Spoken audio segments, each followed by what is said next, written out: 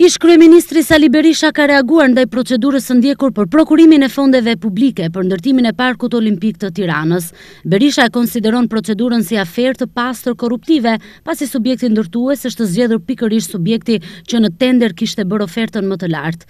Ja kush i fiton tenderat me Edi Ramën, vlerësojeni vetë, shkruan ish-kryeministri Berisha në profilin e tij në Facebook. Ai vijon më tej duke thënë se Edi Rama po rreh gjoksin sot për ndërtimin e Parkut Olimpik dhe pesë milionë dollarë që ai i dha për këtë qëllim Lindita Nikollës. Këtë aferë të re korruptive e denoncova në dy seanca parlamentare, thekson Berisha. Më tej, duke sjellë edhe faksimilën e një dokumenti, Berisha sqaron procesin përzgjedhës të fituesit për ndërtimin e Parkut Olimpik të Tiranës.